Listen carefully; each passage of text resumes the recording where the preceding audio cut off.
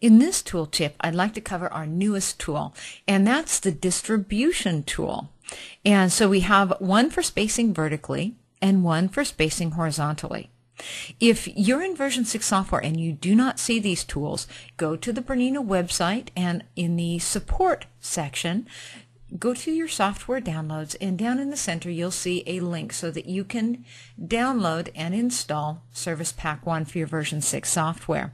As soon as that's installed you'll see that you now have these two new distribution tools on your lower toolbar. Let me demonstrate how it works quickly. If I right click and clone I can make lots of copies of a design and it doesn't matter how I space them all I need to do is decide where I would like this one to be on this side, where I would like this one to be. I can make sure that they're aligned um, top to bottom. So I can align the bottom, centers. I like to align centers. But now that they're aligned, I would like them evenly distributed across this distance. I can come down to space horizontally and just click on it and all of the shapes are distributed.